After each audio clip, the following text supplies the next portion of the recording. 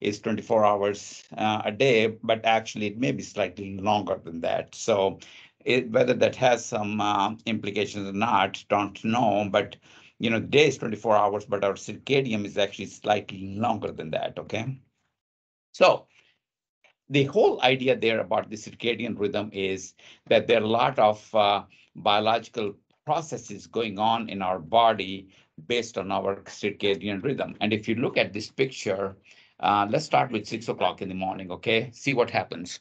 At 6.45, we have the highest blood pressure. We Our blood pressure goes up. Then at seven o'clock, or oops, sorry, at about 7.30, the melatonin secretion goes down. And uh, because it is related with the with the uh, uh, nighttime, and we'll talk about that in a minute. Then um, our best alertness is around 10 o'clock in the morning. Our uh, best coordination is around 2.30 in the afternoon. Our fastest reaction time is around 3.30 in the afternoon and our greatest cardiovascular efficiency and muscle strength is about 5 p.m. Okay, so that's the circadian rhythm involvement during the daytime. Now, as the night progresses from 6 p.m. to 6 a.m., around 6 o'clock, we have the highest blood pressure. Now, our highest body temperature will be around 7 o'clock. And remember that because when we are going to talk about the sleep onset, we're going to talk about the temperature and regulation and stuff like that. And then at around uh, 9 o'clock, the melatonin starts uh, building up. Okay, that's our second uh, ZG that helps you go to sleep at nighttime. So, so nine o'clock it goes up, your temperature goes down, your cortisol level starts coming down, and that's what initiates the sleep in a broader sense, although initiation of sleep is a very complicated process. But anyways, so melatonin starts secreting at around nine o'clock, and then uh, uh, about our deepest sleep is about two o'clock in the morning, and then finally about 4 4 a.m. is our nadir of the body temperature, and then when you wake up at 6:45, uh, your blood pressure goes up and cortisol level is high, and your your your pressure goes up. So most of the circadian rhythmicity actually is dependent on the daylight, okay, and the sun uh, and the external clues are called the ZG So if you put somebody in a dark environment, like in a cave or something, they will lose that circadian rhythm rhythmicity that is associated with our sun up and down. Uh, the second then thing that works there is the melatonin. Um, and so people who are blind or they they are in a dark, they lose that circadian rhythmicity. All right, so now uh, how, how do we develop a circadian rhythm disorder? So if there is an alteration of the circadian timekeeping system, or there's an entrainment mechanism, which we, we're going to talk about, or misalignment of the endogenous circadian rhythm or the external environment like day and night and dark and time zones and those type of things. So now these classifications are coming from the um, IC, ICSD, which is the International Classification of Sleep Disorders, and they define a circadian rhythm disorder as a chronic or recurrent pattern of sleep-wake rhythm. It is uh, leads to either insomnia, hypersomnia, or both. So they are symptomatic with that. And it can cause significant disease or distress in mental, physical, social, occupational, educational, or other important areas of functioning. So so the bottom line is it has, a, so one or two days of uh, a abnormal rhythmicity is not a circadian rhythm. I think it has to be at least three months or so before you can say, okay, this is a circadian rhythm disorder. It has to be associated with either hypersomnia or insomnia. And number three, it has to lead to some type of functional uh, or physical impairment. Okay. All right. Now, whenever we talk about a circadian rhythm uh, uh, process, we have to talk about the normal circadian rhythmicity. And there are two processes that go on. One is called the process S, the other is called the process C. Process S is also called as the sleep homeostasis process that is driven by adenosine. So when we wake up in the morning, the level of the adenosines are re reduced as the day progresses, your level of adenosine actually uh, keeps on going up and up. And you can see that uh, maybe around uh, nine o'clock in the evening, it's at its maximum. Now, the coffee actually works as an antagonist to that adenosine. So if you are sleepy, and you take the caffeine, it will be antagonist to your adenosine and will push back this clock a little bit for, backwards three, by three or four hours and will give you more awakening for three to four hours. That's why your caffeine intake has to be very strategic and has to be taken with that word of caution because you don't want to take it right here in the in the late at night time because then your adenosine level is already going down and it may not be as effective as if you were to take it in the uh, afternoon or so, and that will push you push it back. So now, while that homeostatic process is going on, at the same time, your uh, your circadian process also keeps on going up until we meet at around nine o'clock when both of these home process S and process uh, C, they meet with each other, and that tends to initiate the sleep, and we go into the sleep, and that uh, that initiation of the sleep will replenish your adenosine back to zero, and uh, and your circadian rhythm, which we're going to talk a little bit more about in a minute, uh, will get back to its bottom line. Okay, and these all processes are being uh, intervened because with the light, with the temperature, uh, what you eat before you go to bed, social interactions, for example, watching uh, iPad, iPhones, and those type of things. Now, actually, the reason for putting that diagram up is to just illustrate how complicated this process is, okay? It is not a simple process. Um, and there are some genes that are also, by the way, involved in, in, in having these uh, different type of circadian rhythm disorders the master pacemaker of uh, circadian rhythm is your suprachiasmatic nucleus, which gets an inference from optic nerve that tends uh, to give the signal from the from the light. And uh, so, and I'll show you in the next slide uh, what I mean by that. So the stimulation of the suprachiasmatic uh, nu uh, nucleus of hypothalamus actually is the main control center. So if the board question comes comes on, then that is the answer there.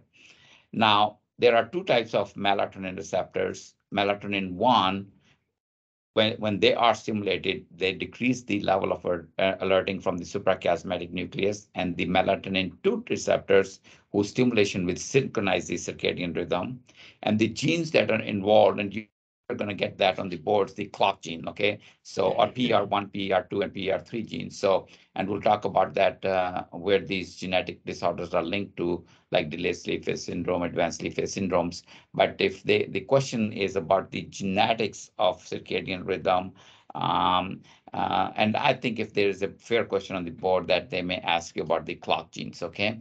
And this is diagram is very complicated. I'm not going to go into that, but just to illustrate how complicated sleep onset is and the control of the circadian rhythm is in the brain. It's not as, simple as we are just talking on now at this point, because it does interfere with a lot of other things. For example, uh, we talk about the bright light as the ZG It affects on the retina. We, from the retinohypothalamic tract, it goes to your suprachiasmatic nucleus. It also then activates your lateral geniculate uh, uh, receptors, um, which then in turn uh, go through this genio-hypothalamic tract and affect on the suprachiasmatic nu nucleus. Raphe nuclei, they start secreting the serotonin or 5-hydroxytryptophan, and that then uh, gets all these signals from the suprachiasmatic nucleus, go to the median forebrain, to preganglion nucleons, to the superior cervical ganglions, then postganglionic neurons to the pineal gland that tends to secrete your melatonin, and then that affects on the suprachiasmatic nucleus. So on the one side is your pineal gland that's secreting the um, uh, melatonin. On the other hand, it's your retina that's getting the in, uh, influx from the bright sunlight, and both of them are in, uh, affecting your suprachiasmatic nucleus along with the other hormones. Uh, uh, serotonin happens to be the most important of those, okay? All right. Now, this is interesting, and this actually, I think, is also has some practical implication. The relationship between the time and the core body temperature.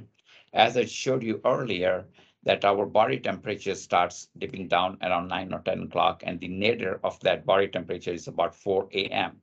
Now, very interesting point is that it is almost very difficult to fall asleep unless your body temperature is not falling. If your your body and it has to be only like one one degree centigrade or something like that, but your body temperature has to come down. Uh, that's why a lot of people like to keep their bedrooms cooler than the rest of the house um, so that their body temperature will go down because you cannot fall asleep if your body temperature is still up, okay? And then it is very difficult for the, you to wake up in the morning if your body temperature is not rising. Giving you an example, people who become hypothermic, for example, go up on the mountains or something, they become hypothermic, they get drowsy. That's the reason because their body temperature has fallen down and, and they cannot wake up. Their body temperature has to go up for them to be able to um, uh, wake up, okay? So this is a now the relationship between the melatonin and the biological clock. And as you, you can see, and we talked a little bit about the same thing, you have perivascular nucleus, suprachiasmatic nucleus. So here from the eye, this impulse is going down the spinal cord to the superior cervical ganglion to the eye pineal neuropathway. Melatonin is produced in the pineal gland, and then it has a feedback on the perivascular nucleus and uh, controls on the suprachiasmatic nucleus. We'll talk a little bit more about melatonin business in a minute. So in terms of the melatonin, the secretion is increased around 8 o'clock or 10 o'clock, but it has to coincide with the dim light. If your lights are still up at nighttime, I mean, like you have um, bright daylight, um, your your melatonin is not going to be uh, secreted at the proper timings.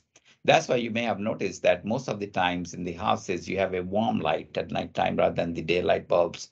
And the reason for that is because it the wavelength is such that it does not affect much on the uh, on the on the retina to stimulate your uh, uh, suprachiasmatic nucleus or interfere with the melatonin. So that's why you know there's a science behind having the the yellowish type of a light. And same way with the iPhones, they have changed that to night mode where your bright light is changed into the yellowish type of a light because of the uh, nanometers wavelength on those lights. So so at nighttime, typically when we go to uh, uh, when the lights are down, your melatonin starts secreting. And this is a, a, a, phenomenon called dim light melatonin onset. And there are kits available that you can get the melatonin levels from your salivary glands that can actually tell you what time your melatonin onset is. So, um, but so here's the relationship between the temperature, the melatonin, and the cortisol. And if you see here, at typically at uh, 11, uh, 10 or uh, 10 o'clock or 9 or 10 o'clock, your uh, melatonin starts secreting. It's it gets to this maximum. Uh, your core body temperature starts dipping down, and your serum cortisol level goes down and starts rising early in the morning. That is a question that will typically they will ask serum cortisol levels in relationship with the sleep, and it is the highest in the early morning hours. And um, so they, that is a question even on the sleep boards, they will typically ask about these hormones and cortisol relationship with the sleep and those type of things. But just remember, melatonin starts secreting around nine o'clock, core body temperature goes down, maximum nadir is around four o'clock, and serum cortisol level starts dipping down at nighttime, but it is at maximum early in the morning. That's why you get a fasting cortisol levels. All right. So now let's go to the classification of the circadian rhythm disorders. And there are two types of circadian rhythm disorders. One is the intrinsic, the other is the extrinsic. The intrinsic circadian rhythm disorders are delayed sleep phase syndrome, advanced sleep phase syndrome, irregular sleep wake uh, rhythm disorder, non-24 hour. We are, we're going to talk about all those in a minute, okay? And then the extrinsic uh, circadian rhythm disorders are the shift work and the jet lag, okay? So those are related to the external entrainment process that you get extrinsic circadian rhythm, but the intrinsic can be delayed, advanced, irregular, and non-24 hour, okay? So in, in a very simpler way, in a delayed sleep phase syndrome, people are unable to fall asleep even if they want to. And their typical sleep onset will be about two to four o'clock in the morning. And what happens, and this happens typically in adolescents, that they are unable to go to sleep they they have to wake up early for the school. And so they are chronically sleep deprived. Because if you try to have them sleep early on and they are unable to go to sleep um, they will get three or four hours of sleep and then they don't wake, wake up fresh. They are hypersomnia. Contrary to that in the advanced sleep phase syndrome typically happens in older folks where they cannot resist their sleep. And no matter what you try to keep them awake they will go to sleep typically five six seven o'clock in the afternoons and you cannot let them be awake till nine or 10, which is the normal sleeping time. And then the end result is their sleep cycle is normal, so they'll wake up early. They'll wake up four o'clock in the morning. So that's the advanced sleep phase syndrome. And then the irregular sleep wake syndrome is that people are sleeping at different um, timings during the day.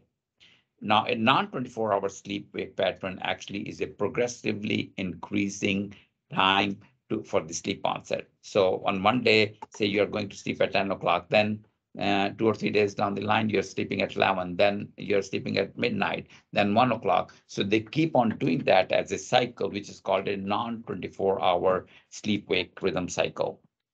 All right, so let's talk about the first one. As I said earlier, the delayed sleep phase uh, disorder is a significant delay in the onset of the sleep, okay?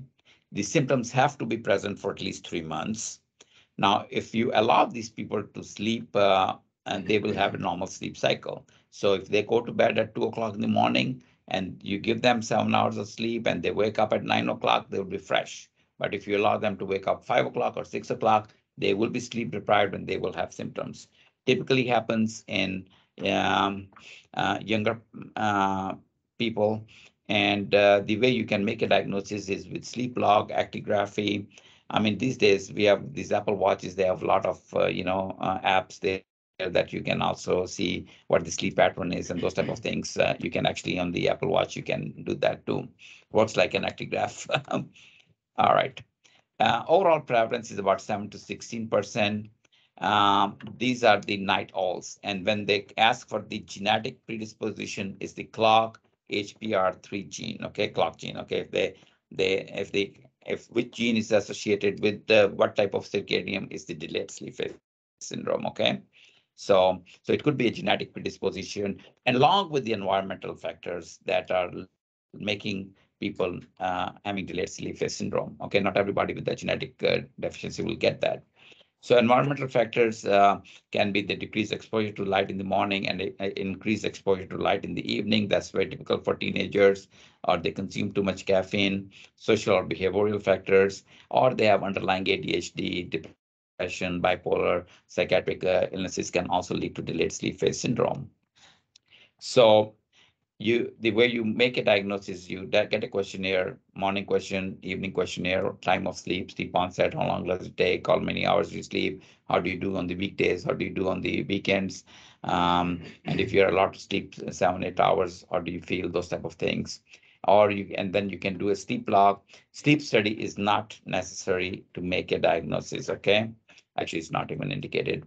And um, if you were to do their uh, and DLMO uh, element test, which I talked about earlier, this library gland melatonin, you will see that they're they will be delayed in the onset of their uh, melatonin at nighttime. So instead of nine o'clock, their melatonin may start secreting at about midnight or so.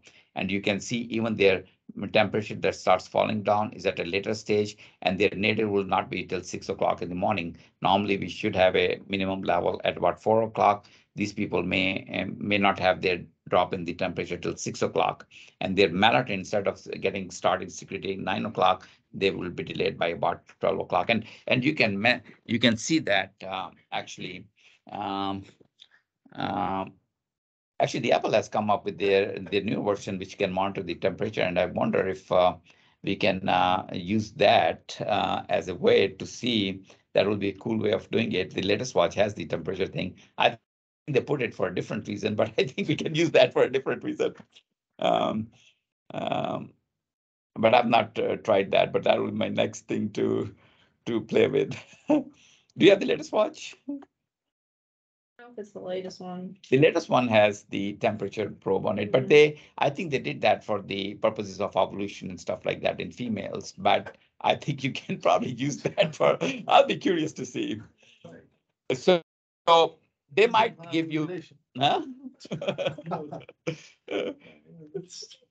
So they, in, in, in, in good old days, this was one of the typical on our boards. Uh, I mean, these uh, actigraph um, uh, tracings, uh, and they wanted us to say what type of the sleep disorder it is. So there is timings up on the on the top, and it will tell you what time did the patient go to sleep, what time did he wake up, and whether you know it took a nap not. So you can see if the patient is uh, not going to sleep at eight or nine o'clock and going to sleep till one o'clock or so, uh, uh, you can tell that uh, this could be a delayed sleep phase syndrome. Um, problem is insurances don't pay for that. We don't, we're not doing that. And uh, uh, I mean, we are mostly making a clinical diagnosis at this time. Um, so how do we treat that? Okay, obviously there are some sleep hygiene stuff like that. The problem is that that if we ask these people to go to sleep at a specific time, it's not going to be successful. So somebody comes into me with a delayed sleep syndrome and cannot go to sleep at two o'clock, and I tell him, oh, you should uh, try to go to bed at ten o'clock. There's no way he will go to sleep by that time. He will be just keeping on tossing and turning. There, he cannot just go to sleep. So, um, so how do we do that? So the treatment is actually two or three options. One is a bright light exposure in the morning. And what you are trying to do is you are actually advancing the sleep phase. So now it has to be a blue, uh, blue green light, uh, at least 2500 lux for about two hours in the morning. So when they wake up in the morning, say they wake up, um, they have to go to work or they have to go to school, they wake up at six o'clock. Ideally, they, uh, you know, they should keep that bright light in their bathroom, turn it on, and then uh, uh, spend about a couple.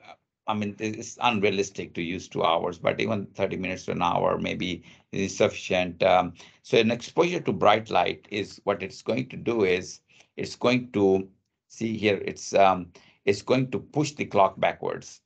And then it may help them fall asleep a little bit earlier than their usual time, which is one or two o'clock in the morning. The other thing you can give and do is you can give them some melatonin. Now, melatonin is a very interesting medication. So the whole uh, treatment with both delayed sleep phase syndrome and the advanced sleep phase syndrome is the concept of uh, advance and pull. Okay, uh, so on with the with the bright light, you're pushing, you're advancing it, and then with the melatonin, you're pulling it. Okay, advance and pull. Okay, it's opposite in the advanced sleep phase syndrome. So the and the two things they work uh, opposite to each other. So delayed sleep phase syndrome, the treatment option, if they ask you on the boards, is the early bright morning exposure. Okay, advanced sleep phase syndrome is the evening exposure to the light. The melatonin, because you're now trying to pull that, you you should ideally take it about five to seven hours before the sleep onset. You're not taking it as a sedative, but you're taking it as a as a pull process. So you're trying to pull their uh, sleep phase syndrome to an earlier level by giving them the melatonin five to seven hours. Because th- think about it, they are sleeping at two o'clock, and even if you were to give them at uh, so five hours before that will be about nine o'clock, right? So if you give them uh, five to seven hours at nine o'clock, it may help them uh, sleep early. Okay, or you can use them uh, about one and a half hours before the desired bedtime. So if their desired bedtime is 10 p.m., then you can give them 8:30. If your desired time is 12 midnight, then you give them at uh, 10:30. Follow me? So habitual, five to hou- seven hours before, or desired 1.5 hours before. Follow that? Okay. It's very important to uh, know exactly what their current schedule is. Right. So when you give bright light, it has to be, it should be given before CBT min. CBT min is this, um, core body temperature minimum, which is usually two hours before you wake up based on your circadian rhythm. At four o'clock in the morning. So but for, in, in those people, it's six o'clock. so, for example, if the patient wakes up at 10 p.m., that's a.m., sorry, they wake up 10 a.m., but they want to wake up at 6 you want, if you want to give them bright light, you technically should give it only eight AM or later, Yes. not just wake up and go bright light. Like if you give it before eight mm-hmm. AM, it actually may delay your sleep even more. So Yeah. that's kind of. And that's a very important point about the temperature and the the Yeah, bright light so therapy. technically it has to be before, after CBT After. minimum, which is usually two hours before you wake up. So technically, let's say someone wakes up at, like Dr. Fletcher saying, four. See, like here, right, right here, like in these people, maybe at six o'clock or so, Yeah. and then it starts rising. That's So if you give them about eight o'clock, uh, it may be reasonable, or after six o'clock, okay? Yeah. That's why I was saying the Apple Watch may be very helpful in Yeah, that. so ask you a question, uh, so because somebody asked question, you have to give bright light, at what time should you give bright light? You really need to know what their, they'll give it to you very clearly, what is their usual bedtime, rise time that is usual for them. what, how do you want to fix it? And then you decide. what the- And actually, the usual dose is no more than one to five milligrams, okay? I mean, uh, the higher the dose with the melatonin does not work. The problem with the melatonin though is, it is, you don't, when you're getting it over the counter, you don't know if, number one, you're getting the exact dose that they are prescribing, I mean, they're saying on that. Number two, sometimes there can be some additives attached to that, like they may put uh, uh, uh, uh, uh, valerian root or something like that, because most of these melatonins are, uh, people use that as a sedatives. So it has to be a pure melatonin, and normally, um, uh, recommendation is to start with one point five, then you go to, uh, three, and then, uh, no more than six milligrams, really. I mean, uh, if it is not helping, then beyond, uh, six milligrams likely is not going to help that particular, um, uh, um, process, okay? Now, people with REM behavior disorder is a little bit different. The doses can be go, I think as high as like twenty-four milligrams of melatonin or something, so that's a little bit different, but we're talking about the delayed sleep phase syndrome. And then the third thing is um, chronotherapy. So what chronotherapy really is that, uh, and it's very hard to do, but uh, what this uh, is that, as I said earlier, if you ask them to sleep early, they won't be able to. But then in chronotherapy, you advance the clock. So gradually you tell them to sleep later and later till you reset their clock to the point where you desire them to go to sleep and then have them uh, fix that at that point. So there will be time during the days, for example, they'll be sleeping and stuff, which is very hard to really achieve.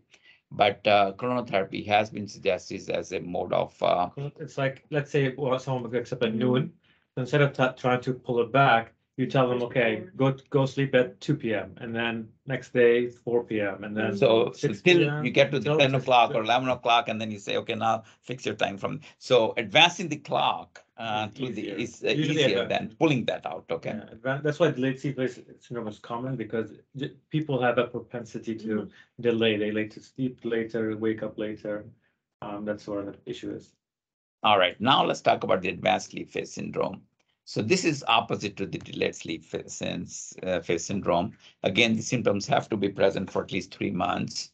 Now, if you allow them to sleep in their own internal biological clock, they have no problem. The problem happens, most of these elderly people, they cannot resist their sleep and they have to go to bed, so they can miss their social interactions in the evening with the family members and stuff like that. By the time their, you know, kids come home or something, I mean, they're already gone to sleep and then uh, they, so, but then they wake up very early in the morning and then they, they, they feel very lonely about it. So um, it is also present in about seven percent of the people aged between forty to sixty-four years of age as you grow uh, uh, advanced. Now, the genetic here is hPER2 genetic gene, okay? And uh, um, you can also see that in, in kids who have neurodevelopmental disorders like ASD and uh, environmental factors may um, precipitate, maintain, or exacerbate.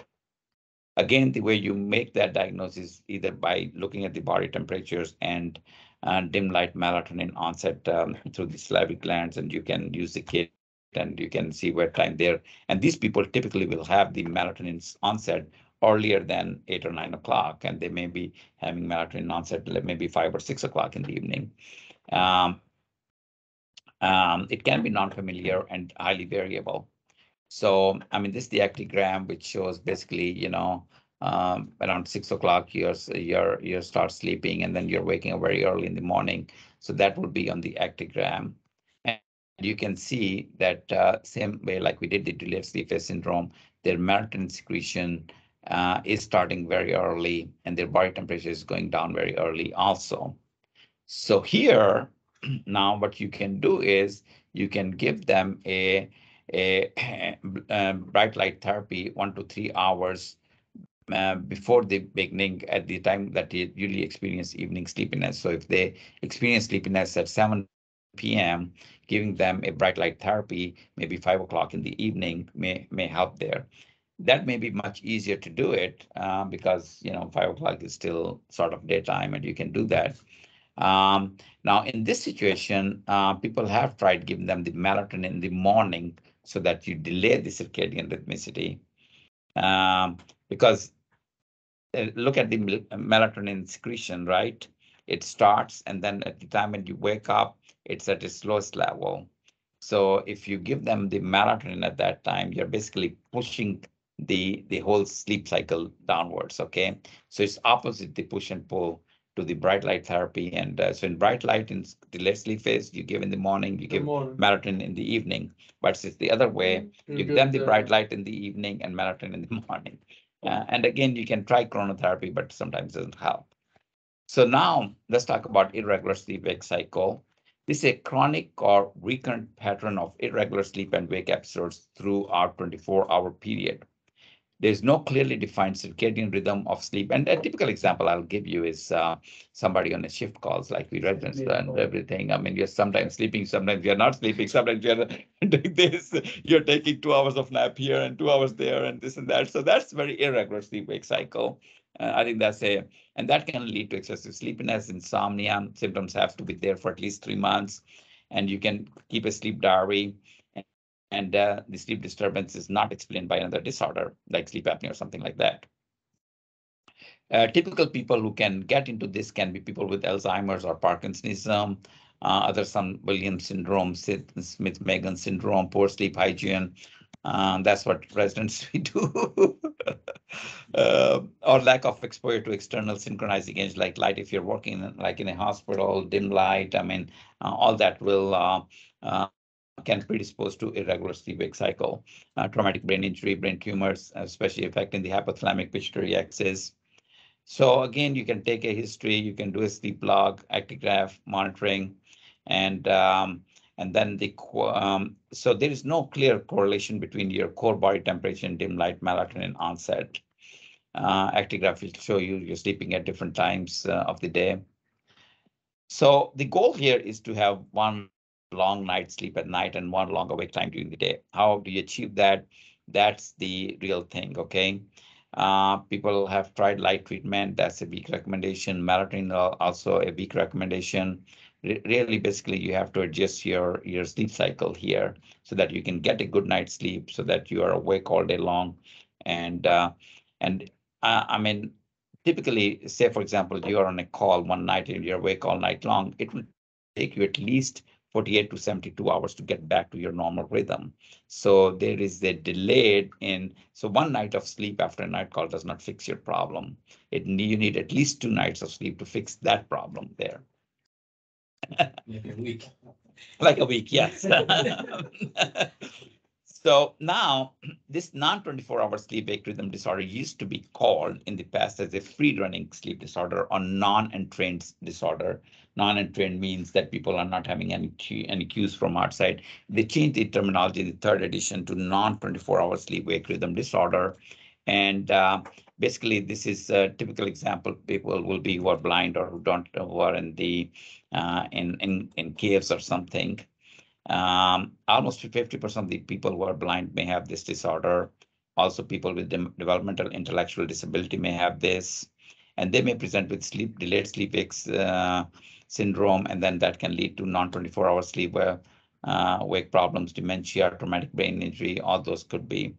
So the whole idea there is you can see there that uh, there's a progressive prolongation of this sleep onset. So when you see on the boards, they give you an actigram that's like progressively uh, sleep onset is getting longer and longer. I mean, the onset is going uh, longer and longer, like sleeping from 10 to 11, 11 to 12, 12 to 1. So when there's a, a line, that's a non-24 hour, simple answer there. You don't have to look at anything else. That's a non-24 hour sleep wake pattern. It's not irregular. It's, there's a rhythmicity to that. Remember that because their sleep onset is getting progressively longer. They may be sleeping seven hours or so, and they may be awake in the daytime, but their sleep onset is getting progressively longer and longer because they have lost that external cue that uh, is regulating their suprachiasmatic nucleus to day and night uh, uh, uh, rhythmicity. Okay.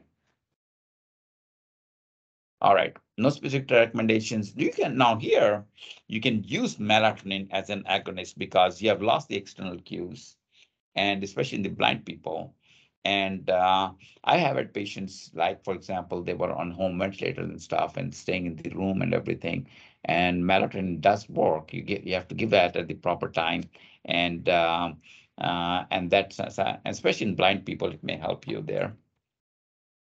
So this is a summary of all these um, uh, uh, sleep disorders, advanced sleep phase, delayed sleep phase, non-24, and uh, irregular sleep wake. And really, to be honest with you, most of these recommendations are either no recommendations or they're weak recommendations. Okay, we talk about them, but um, based on the uh, ICSD, I mean, um, they're they they're really not recommending uh, uh, as a strong recommendation.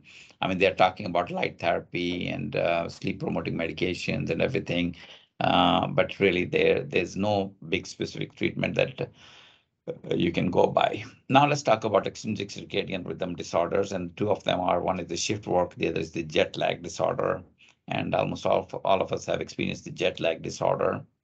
So shift work disorder is actually uh, due to reduction in the total sleep time associated with recurring work schedule that overlaps the usual time of the sleep. Symptoms are present for at least three months, and sleep log will show like a, a irregular sleep wake cycle.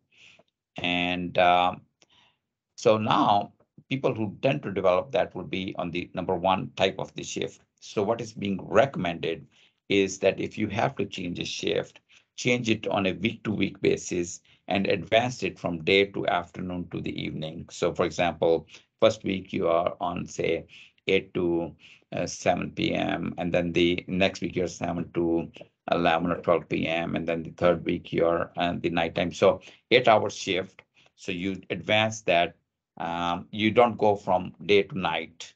It's better to get go from day to afternoon and then night or night to day uh, uh, uh, type of a thing. If you have that luxury of eight hour shift, uh, and you if you shift it on a week to week basis, um, that is preferred as compared to every two days change or every three days change in a shift work, okay? Uh, so the way you diagnose, obviously, you get a good history, sleep log, echographics, again, sleep study is not recommended. Now, these are the consequences of the shift work. I talk a lot about when I give the yearly lecture on the, you know, resident shift work and all that type of thing. But the bottom line is, you know, they can have a lot of psychological, medical, uh, social issues with the chronic sleep deprivation due to shift work. And uh, um, so obviously the treatment is going to be to eliminate the shift work if it is possible.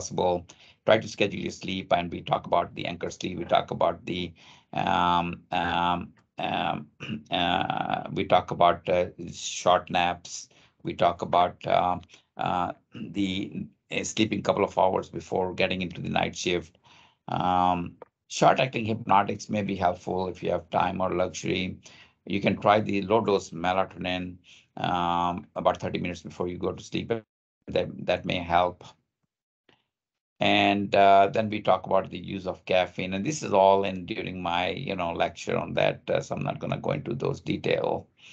Um, and then um, timed exposure to the bright light, which is very important actually.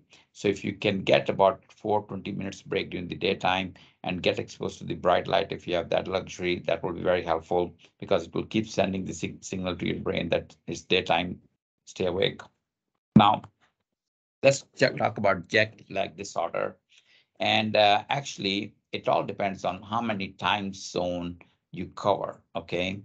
And um, so after seven time zones, um, you go back to the basis. Okay, so if you are changing your time zones at least uh, up to seven time zones, you are going to have some type of a jet lag. Okay, and it all depends on whether you're traveling eastward or the westward. Okay. Now, interestingly, the older individuals may actually experience less jet lag compared to the younger people. And I think the reason for that is the younger population has a more propensity for stage three sleep. And having them wake up from stage three sleep, they're a lot more symptomatic compared to older people who lack that stage three sleep. And that's why they're less affected than the younger population. But it does affect everybody. So this is the um, the the issue with the eastward and the westward travel. So if you're traveling east, for example, you're going to London or Middle East or something, you need to advance of circadian uh, timing to adjust to the new time zone up to seven time zones. After seven time zones, you're back to baseline, then it does not impact much. Uh, and it also requires a delay of the circadian timing to adjust to the new time zone, and we'll talk about strategies there. Westward travels require actually a delay of the circadian timing to adjust to a new time zone. And you can, you can take the example uh, of um, uh, both advanced sleep phase and the delayed sleep phase syndrome. And you can see, for example, traveling from here to California, there's a three hours difference, right? So when it is ten PM here, it will be seven PM and you are there at, at their clock, right? It's way better to adjust and stay awake till ten o'clock and adjust to the time zone than traveling east zone. So let's say you travel now three hours east uh, towards east and your normal sleeping time is ten o'clock. By the time you reach there, it's two AM, okay? What is happening at two AM? You're very sleepy and tired. Now, you go to bed at two o'clock. But then you have to wake up with their time, which is eight o'clock. You're definitely restricting your sleep to five or six hours. And that's, that's not sufficient to overcome this jet lag.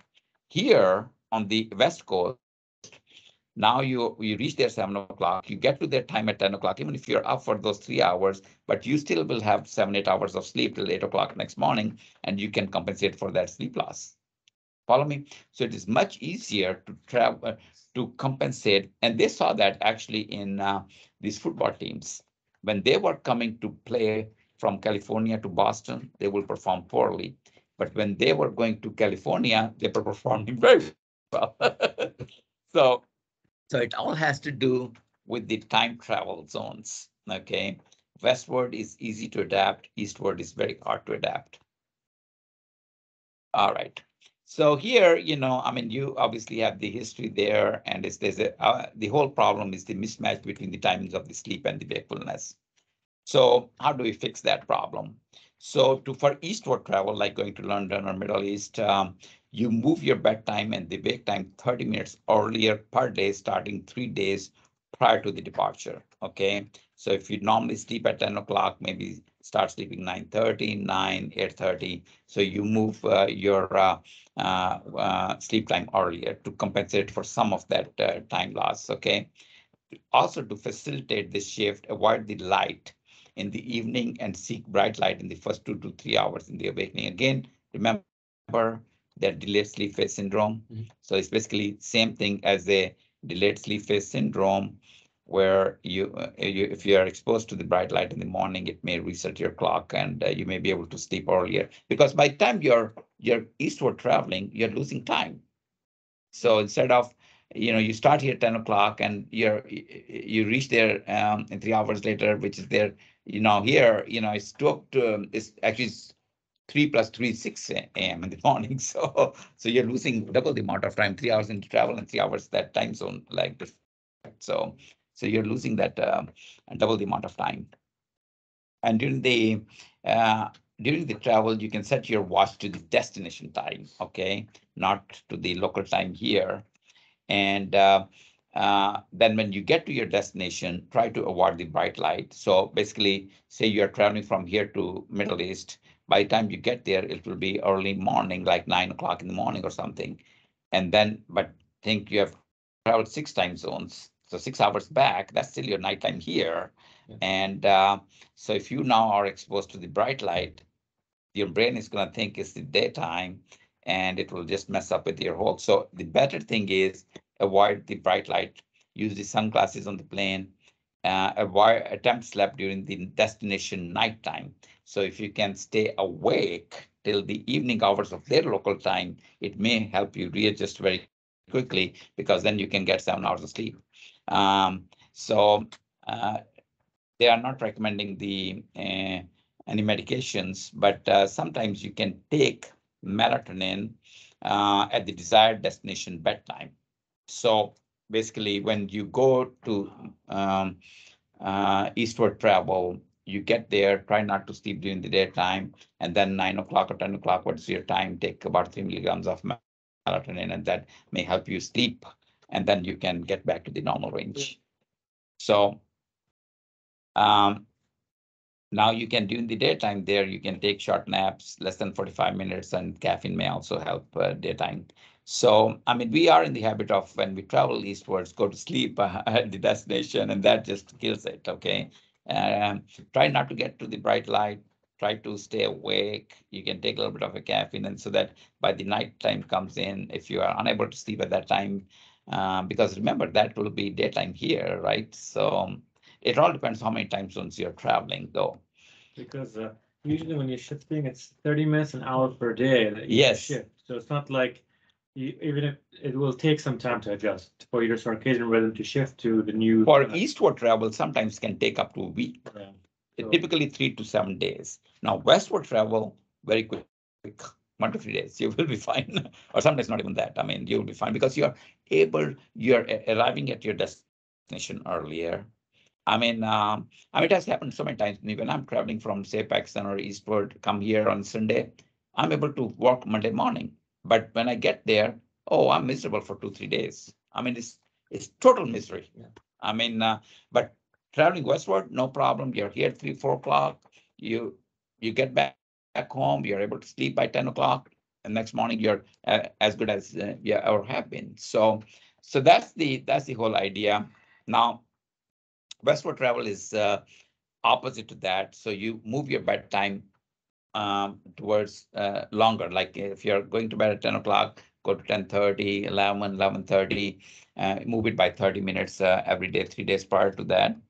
And uh, during the travel, you get a lot of afternoon and evening uh, destination bright light, which most of that, like yeah, I'm going to California, I'm there by four, five o'clock, and there's a lot of sunshine. You get exposed to that sunshine at that time and um, and then you uh, you you try to sleep at the their destination desired time okay? And on arrival gets lots lots of afternoon and evening bright sunlight uh, avoid bright light during destination nighttime. Melatonin here may not be helpful. And try to stay up uh, the desired destination bedtime avoid evening nodding off. Staying asleep may be difficult for the first few days. Short naps and caffeine may help with alertness but most of the times you will do very well on the westward travel than the eastward. Eastward is the hardest thing. So, all right, that's the last one. I'm so good at sleeping. I can do it with my eyes closed and I can. I hope that was helpful. I mean, if you have any questions, I mean, we'll be happy to answer you guys, but um, uh, they will ask one or two questions, I think, on circadian rhythm and uh, and they make it um, to know